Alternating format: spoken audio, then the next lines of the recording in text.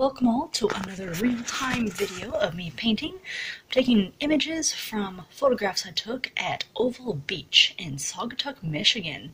My camera data says it's somewhere around April 2019, end of April, but I think it was actually earlier than that because it was freaking cold when I was there.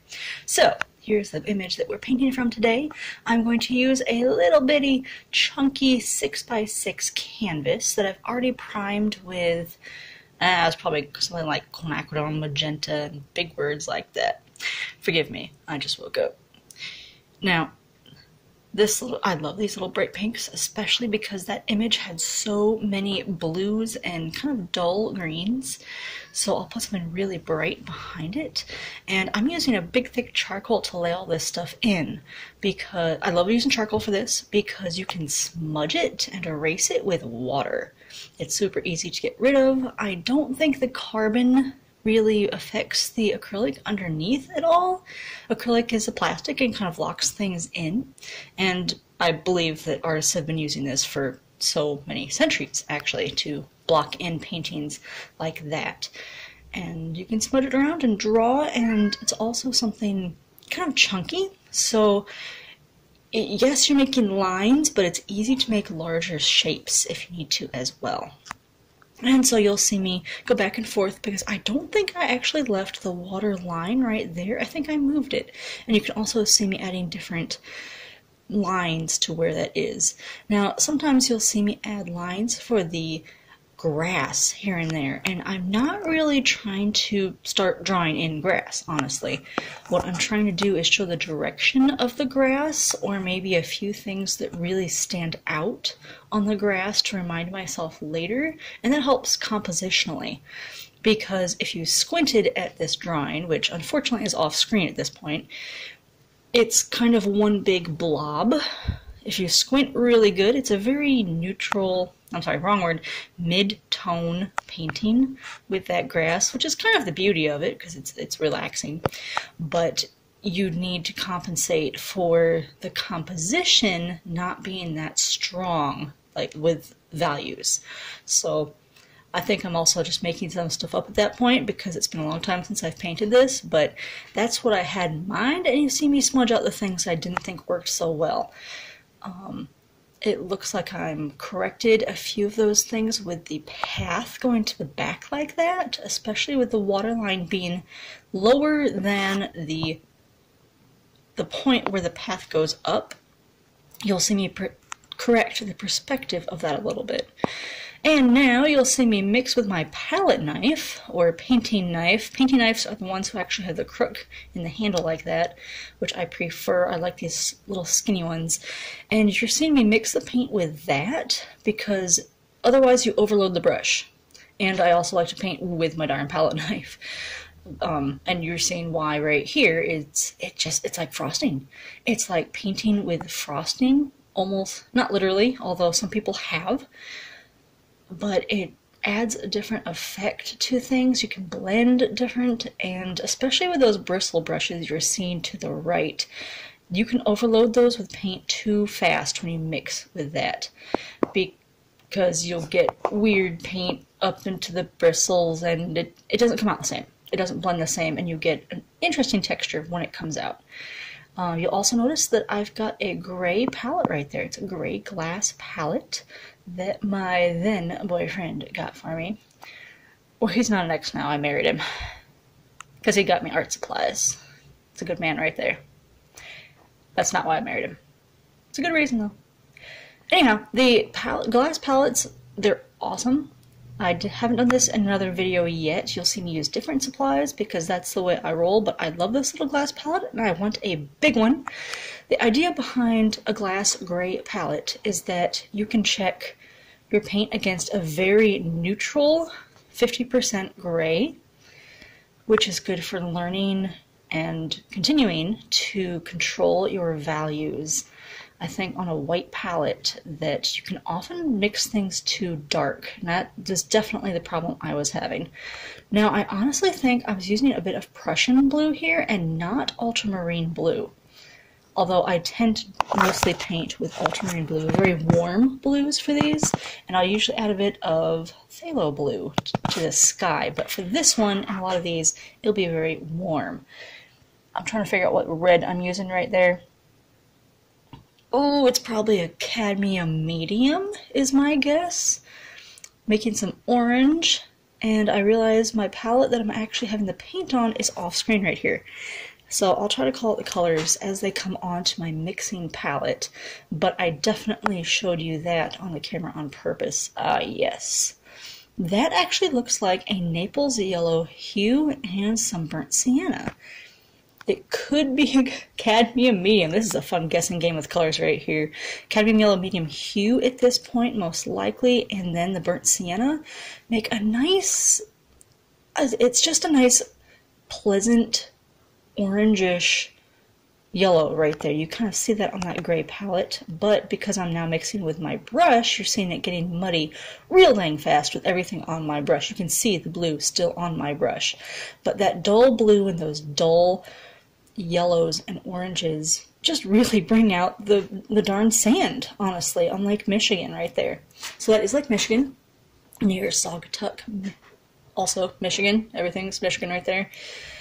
And I'm trying to leave a little bit of that pink underneath it, although you'll probably see me going over all of this again and again. And I'm trying to keep in mind to leave edges, honestly, because I love seeing those little backgrounds of the canvas come through. Now I know I left some blue on the bottom of that brush right here on purpose because you need something contrasting for that grass to stand up on.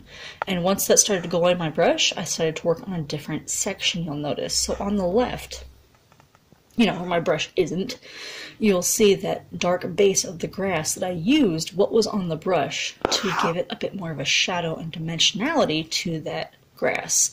I don't care about dimensionality of grass or sand on the sides of the little canvas doohickey right here. I'm start.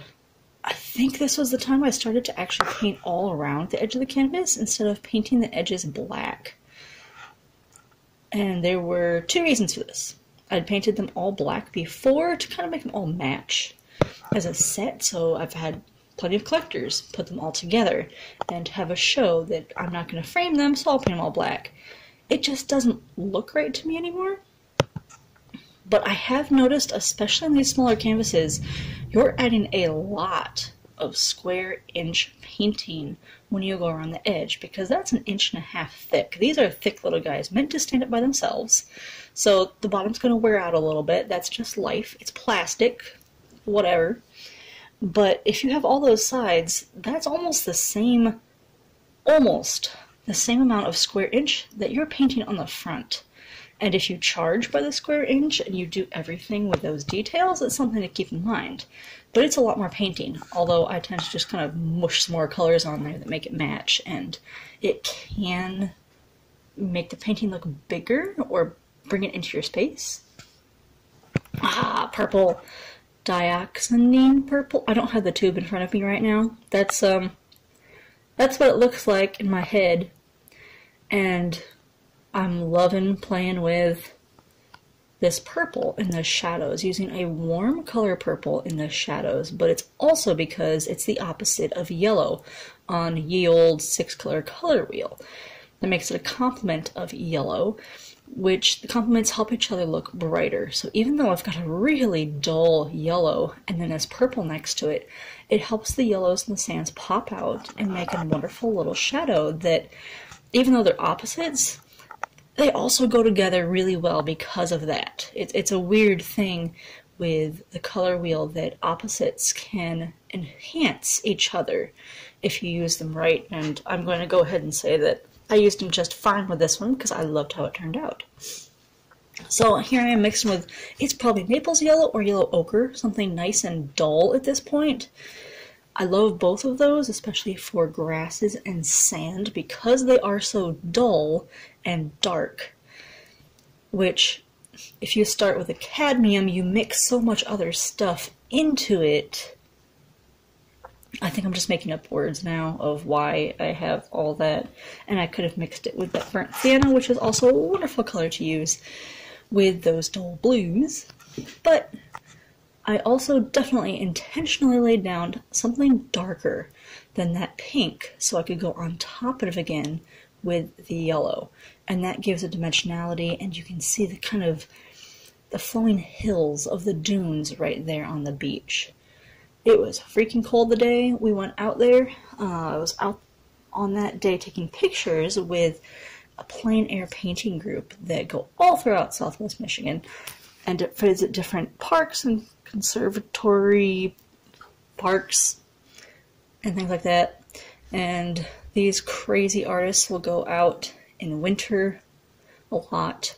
I have learned that 40 degrees is about as low as I can handle for paint. And it's not even, I mean, it's just me. It's not even the paint. Although I have painted where it's cold enough that my water has frozen up a little bit. And so is the acrylic paint.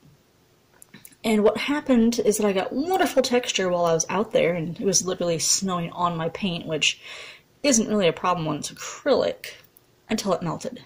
And it literally melted. All of the texture and my paint just relaxed as soon as my car warmed up. I probably have a picture of that somewhere. Anyway, back to this one. There's a reason I didn't finish this one in the field, although I did paint something I kind of nestled myself down in the dunes and hid more colors! You'll see me mix that wonderful little pale green. I wouldn't even call that a mint green because I've been making mint green now. But I'm just getting so many different hues, different that for for color learning purposes. Hue is just the name of the color, not value, not intensity. It's like, is it red or is it green? Is it more blue or yellow? not about how dull it is, not about how dark it is, but when you're simply talking about the hue and adding a bunch of hues that are the same value is one trick to make something glitter a little bit. In fact, that was one of the secrets I believe that Monet or Manet used. Yes, there's a big difference. I don't remember exactly which one they were talking about at the time because, I mean, come on, it's easy to be dyslexic when their names are so similar.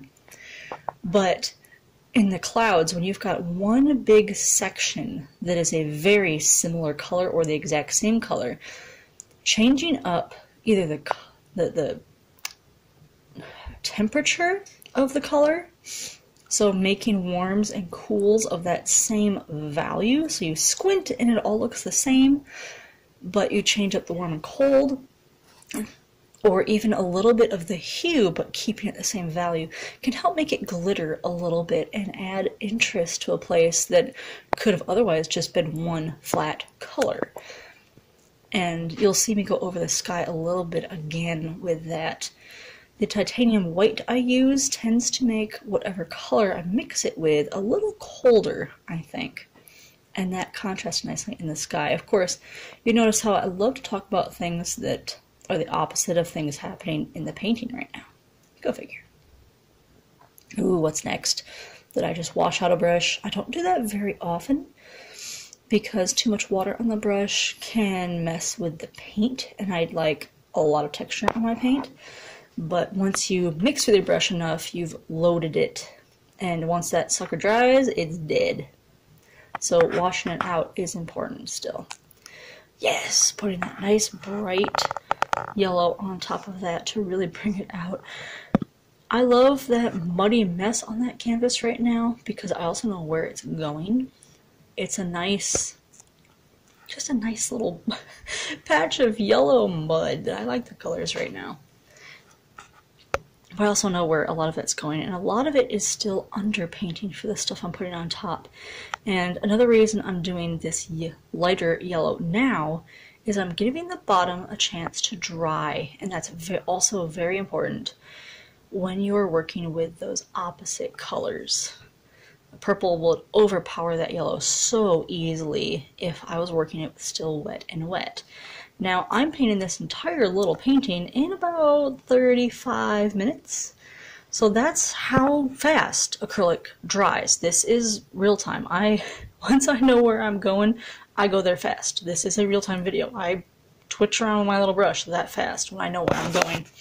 And that's also the secret of knowing where you're going it doesn't take as long. And I also don't blend as much either, you've noticed. I just kind of slap that little paint on there and call it good. Alright.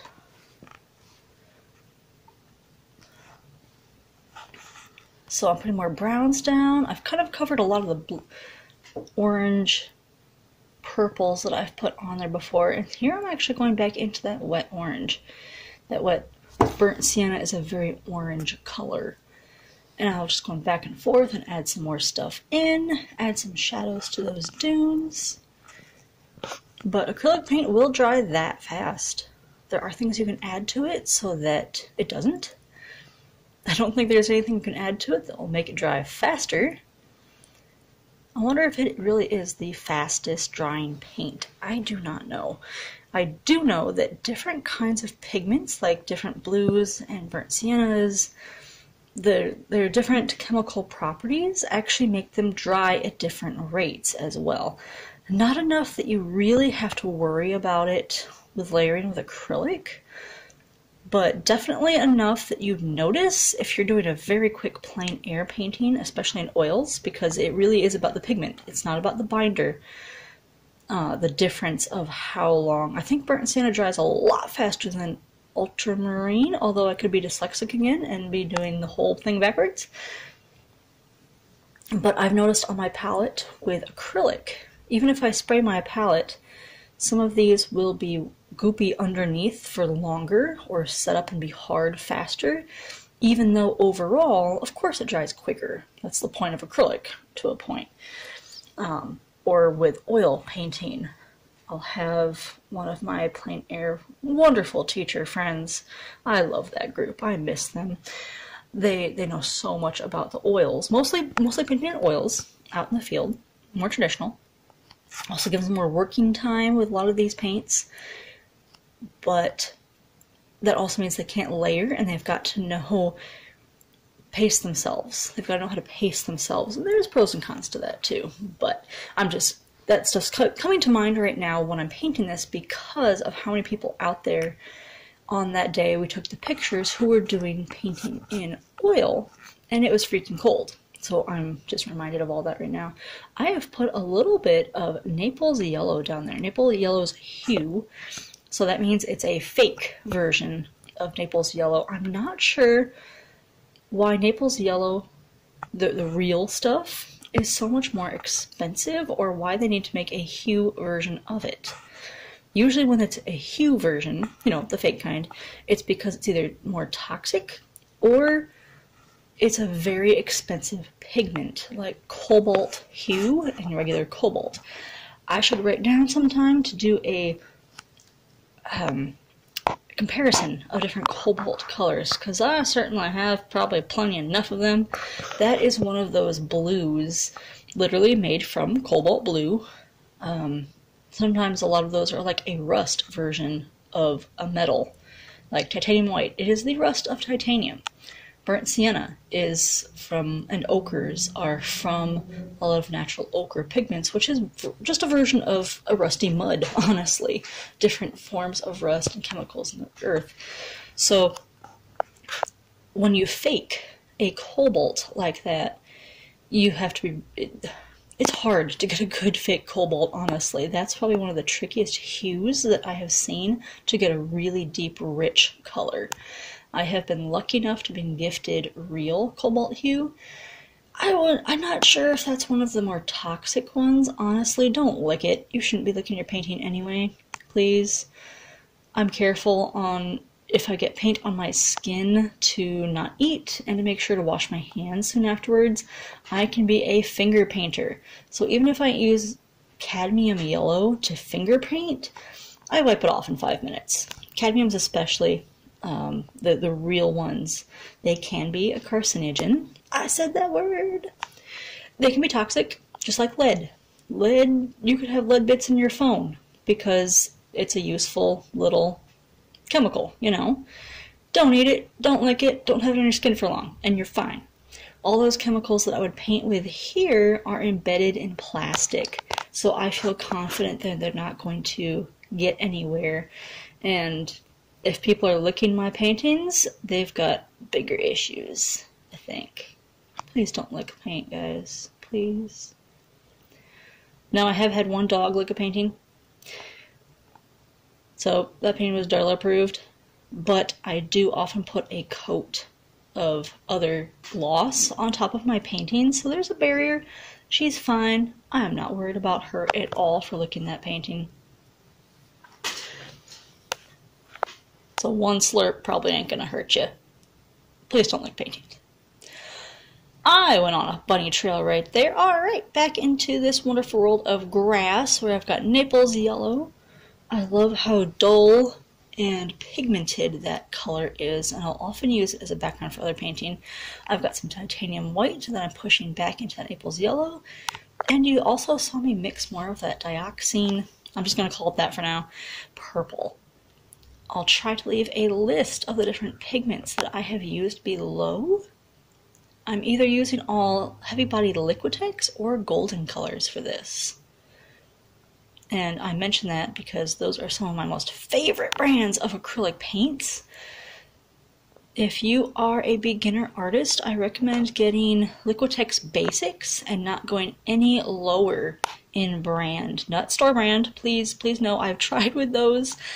If you're learning to mix traditional pigments like um, Naples Yellow or Titanium White or Ultramarine Blue, if you go any cheaper with that, they get weird and there's so much filler that you're not really learning to mix with the pigment anymore.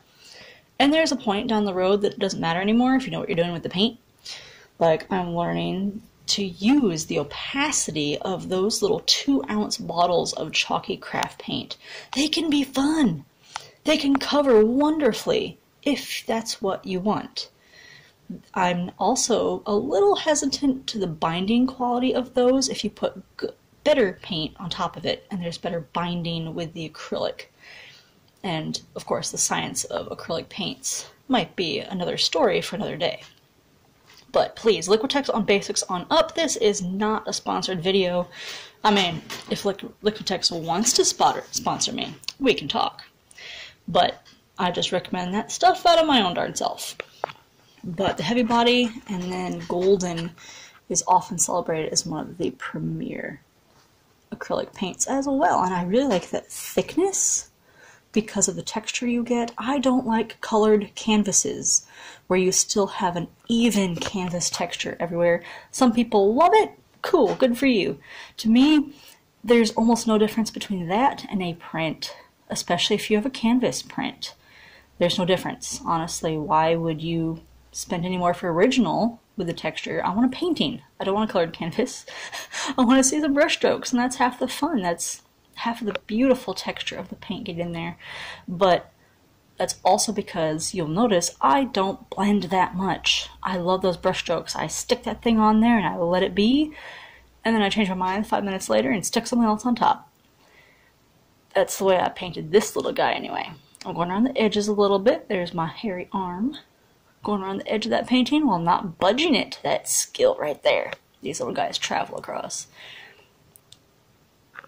I've used a small patch to mix most of this stuff, but most of the paint I'm pulling from is on my plastic palette off to the right. And I'll be working on trying to get a palette cam because it seems like people love to see that color mixing. Excuse me. I'm adding more of that purples and oranges on top of the green. So it's really starting to, I, I use the word glitter because you get almost a, it's not a sparkle. I'm going to try to think of a better word for, for what I'm using right here. But undulating does not seem like the best word that I'm talking about right here. But even if you squint, you get a big shape and you can still see some oranges and blues glittering. I'm just going to use that word now. It moves back and forth, even though, I mean, I don't want it to look like one plane. I want it to look like a dune, darn it. But I'm still adding those different hues and teeny difference in value for a bigger shape like that. And I say that now because I believe that this made a successful painting at the end. So I'm going back and forth. There are so many purples that I have covered up especially with acrylic paints, I feel like you have more room to wiggle for covering something up again. Now, there are definitely techniques where you've got one shot. Some glazing, you'd have to start over from the bottom layer and if you didn't like how that glaze worked, or some texture techniques with gel and transparencies. But if you're working with a lot of opaque paint, it is so easy to just stick something else on top and cover up if you don't like what you did. That's one of the beauties of acrylic paint, especially when you do plein air or something like that, if you're working with the transparent versions. Alright, I believe I'm messing around with the sky. Yes, I'm dulling it down with a tiny little bit of that orange. Orange and blue are opposites in the color wheel. So I'm working with a lot of opposites here. The yellow and purple in the grass, and then a little bit of orange and blue to dull down the sky. Michigan has very, very dull skies when it's that overcast. And I do know you will see me going back over that entire sky because it was just too dark. What I'm doing here is too dark it's too blue and too bright. Even with that, it's just too darn dark and bright, of bright of a blue. Um, brightness in color and paint doesn't necessarily have to do with how light or dark it is. It has to do with how pure of a pigment you've got.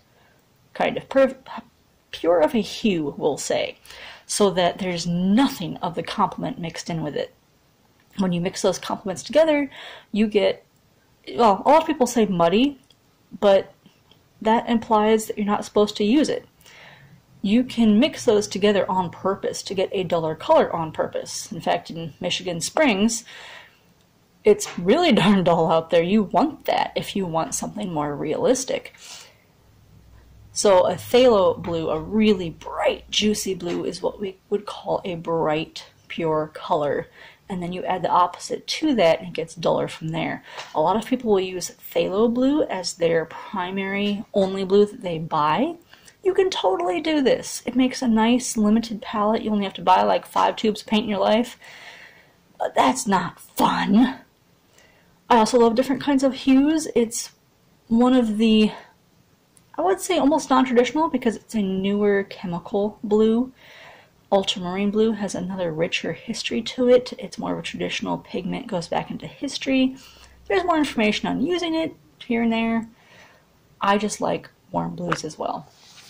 So there's a little bit of pigment stuff for you and complements. So the subject of this video will be about painting with complement colors and dulling them down and making them glitter a little bit until somebody else really has a better word than making it glitter, please let me know. What, what word am I not thinking of right now when it comes to using different hues and color temperatures in one plane or one big section of your painting. It's a very simple composition. I'm still loving how this is working right now. If you squint, you definitely have some big triangles going off to the little focal point where, you know, you run up that hill as fast as you can and jump off. Do you land in the lake? Or don't you? We were actually much farther away from the lake than that at that point, although I don't really care if it looks like we were closer. I don't think it does. That'd be kind of fun. I like the mystery of a path landing. Hello, Gandalf. My studio assistant is making his presence known next to me. Gandalf, there's something like to say? Nope, he found his breakfast. Alright, what am I going to do next? Because I know I'm not quite done. Oh, yep, sky. Now you're seeing me be very disgruntled with that bright sky that I have on top. Wanting it brighter and brighter and lighter and lighter.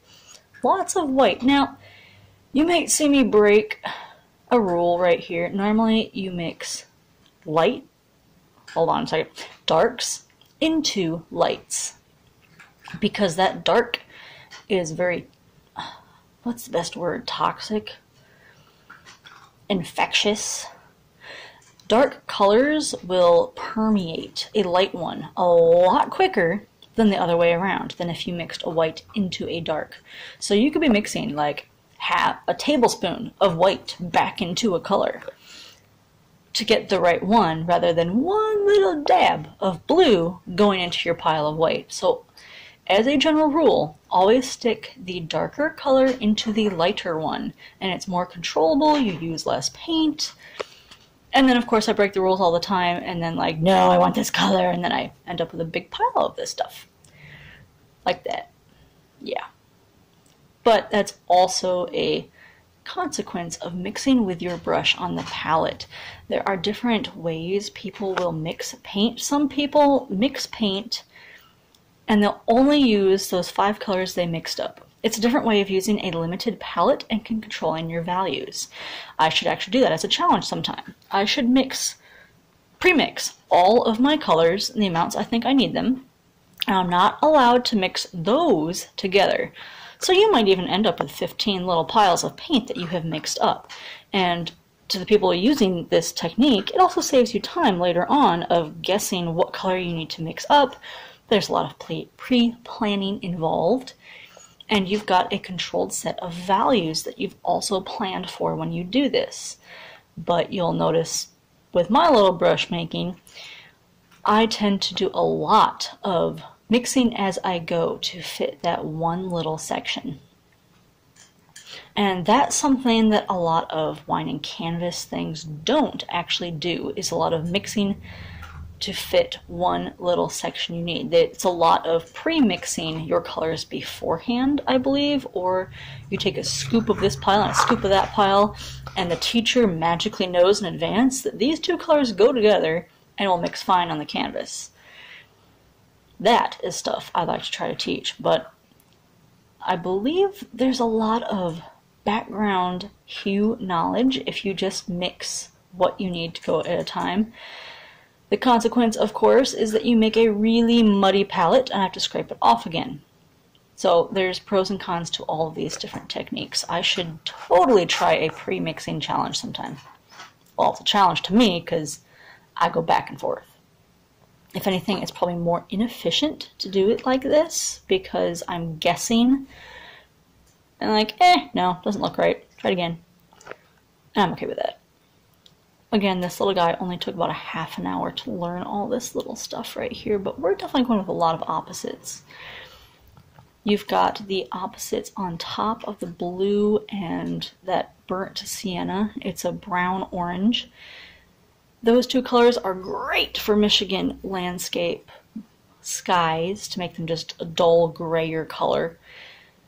And then you've got the opposites that I leave separated at the bottom to make them dance with each other. The purples and the yellows at the bottom. And you'll see some more oranges and, you know, stuff. You'll also see that pink is almost completely gone underneath. That's okay. I still like to believe that it lends a warmth to the colors on top anyway. Some people say that paint is never fully opaque, particularly with oil paints, and that you always will have an influence of what's underneath with oil paints to what's on top. Eh, okay, cool. Maybe. I guess. They can do really cool x-rays with oil paint stuff, actually. Look it up. X-ray oil paintings. They can well, it's x-rays and some other kind of tests that they can see to bounce off the different chemicals and pigments throughout the ages. Um, they bounce back at different wavelengths and all that kind of fun sciencey stuff. But they can see the changes artists have made before they did the final painting, or they painted completely on top of the entire thing, which I think is kind of cool to see the history of what artists chose to leave behind and what they choose to paint over and the choices they made that they didn't keep, and some of the absolutely hilarious first starts that they painted on top of. With acrylic paint, it's pretty darn easy to paint on top of any mistake, any used canvas that's acrylic. You could re-gesso it if you wanted to, or just paint on top of what you have with something opaque, probably to start with. And it helps me reuse my canvases that would also be another good challenge sometime is to use one of my old canvases that I didn't have a good start with. I kind of stalled and I didn't continue with it for a multitude of reasons. But finishing up old ones or just fixing my old stuff would be a wonderful challenge. And Lord knows I have plenty of those hanging around because I don't like to waste canvases. unless I've put way too much texture on it that the texture will not match something I want to do with a future painting and it's just going to detract from it. In that case, it's a loss. You're better off just trashing the thing than holding on to it, honestly, because you've only got so much time and space in your life. Thank you for coming to my TED Talk. But, and I'm talking thick texture. I love to do texture with gesso, with tissue paper, and building up to a sculptural effect. And especially that's the point where you can't. I don't like reusing uh, reusing the canvases at that point as well because I have something else in mind. Other people might. Good for you. I'd love to see that. If you've got something that you highly, highly textured and you planned out the composition and where it all went, didn't like it, and then used it for something else. How did you compensate for laying down such a strong path for a different painting? That would also be a cool challenge. Oh yeah, now I'm brightening it up again. I let that sky dry so this white on top will show up a little bit better and not blend into the background. That was also what I was having trouble with with getting it to brighten up is that light going into that darker background was just blending way into that blue. And I'm loving how I'm seeing this thing just dab on top. I'm using almost entirely bristle brushes for this whole painting. They are magic when it comes to hair and grass. If you've always used a Taklon brush, um, a very smooth brush with, with very smooth bristles, it's plastic. It should look like plastic it might look like brown hairs that are very smooth. If you've always used one of those brush, switch to bristle brushes. I'm serious. There's a magic to them, a different kind of. Um, someone mentioned a softer, softer thing, brushstroke. Okay, I'm done with this little guy. Here is the final image of this little painting. This little guy has gone off to his home in the Chicago suburb, so it is gone, but there'll be prints available of this little thing. Done for one of my 30-day challenges, which I'll get back to one of these years. Thank you so much for watching, and leave a comment with how you like to do with textures and working with the complements and things like that with acrylic paint. Thank you guys.